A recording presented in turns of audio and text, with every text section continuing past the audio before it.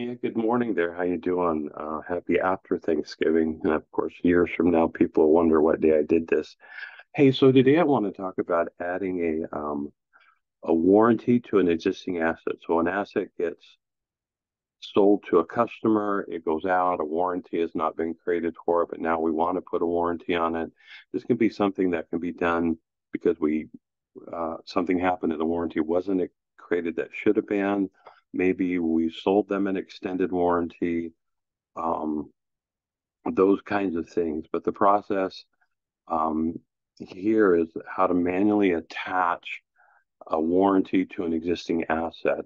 Now, coming up in calendar year 24, uh, a lot of this will be able to be done through the order management screens. Right now, you can orchestrate an extended warranty using the APIs, like coming in from CPQ or coming in from Salesforce.com, something like that. But the ability to do it through the through the order management uh, user screen is won't be available until sometime in calendar year 24.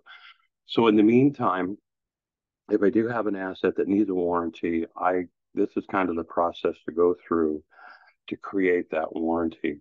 So the first thing is I'm here in subscription management. I'm going to go into setup and I'm going to go search for the asset uh, that I know needs to be done. So I come into setup and maintenance. I come over here to um, manage assets under life asset lifecycle management.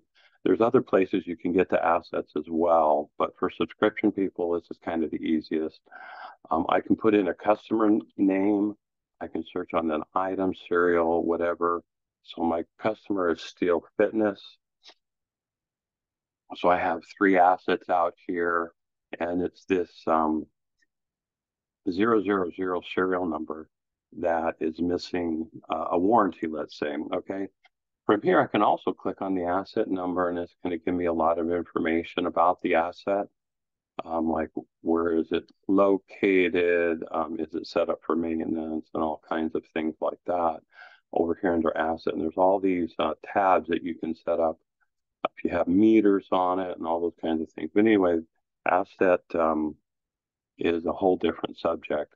But so now that we've looked it up, we know it's going to be this 001 and this asset number. By the way, that's like seven, eight, nine zeros, something like that. So they made that really difficult. In fact, I'm just going to go ahead and copy that to make it easy. So the next thing, once we have the asset, the, the next thing that we really want to be able to know is what is the warranty that we're going to put on this. And so to get to the warranties, um, we can go into product information management. Um, I can go into the items. Now I can create warranty items here, um, but I'm just going to kind of search on them at this point.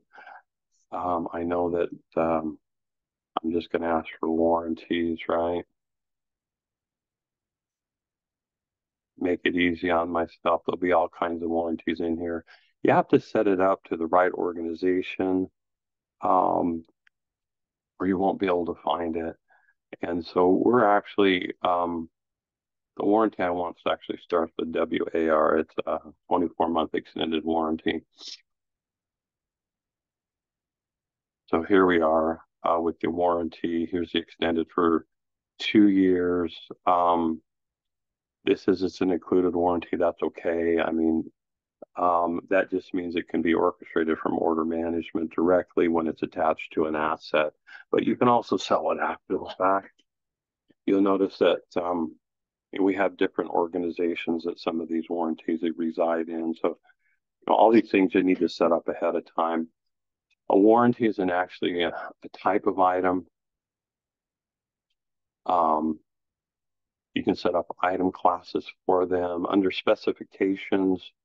And then under service is down here under the service contracts, because that's what a warranty is, is a contract for service. Um, you can set up the different uh, parameters that are going to be allowed for this particular warranty. It's a two year, it's a fixed duration. You can set up coverage levels, etc., just like a standard warranty. So once you know um, what you're going to do.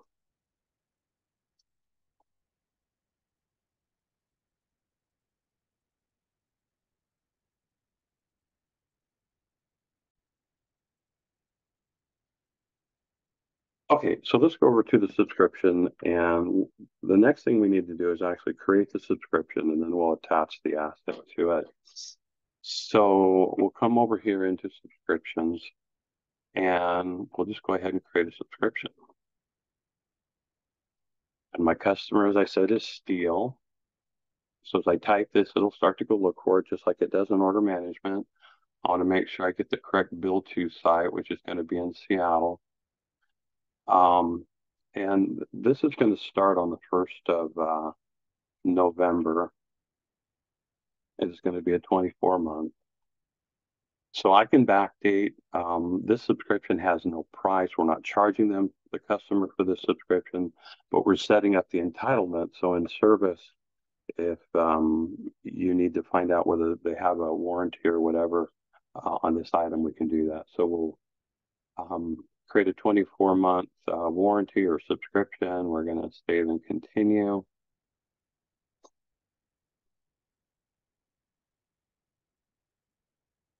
And then we're going to add a product to it. And line one, and it's warranty um, um, EX12.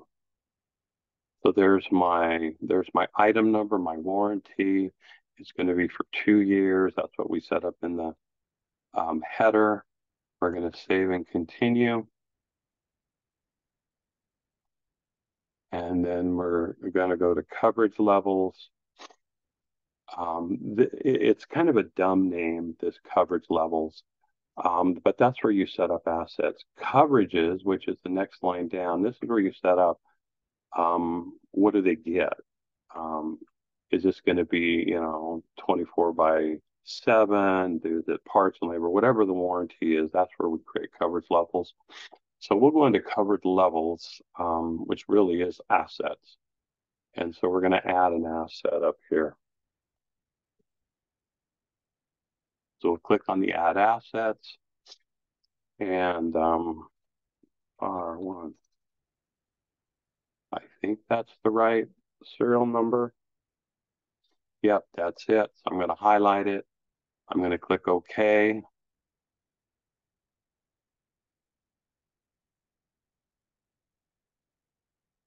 And when it gets done spinning,